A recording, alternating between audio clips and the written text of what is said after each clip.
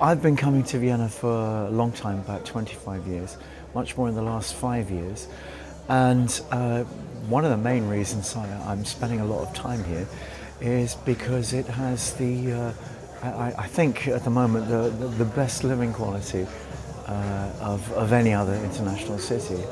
Uh, and so I, I, think I made the right decision. Um, it's not such a big town like London, where I come from, which is, uh, I think, Sometimes when it's full, there are 20 million people there in London. But uh, between two and three million, I think, is a great number. Um, uh, the public transport is fantastic, uh, probably the best in Europe.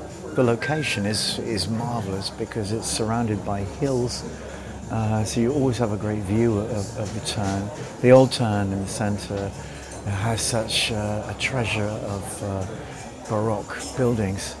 Um, and uh, yeah, and, and I and I'm here. I love it.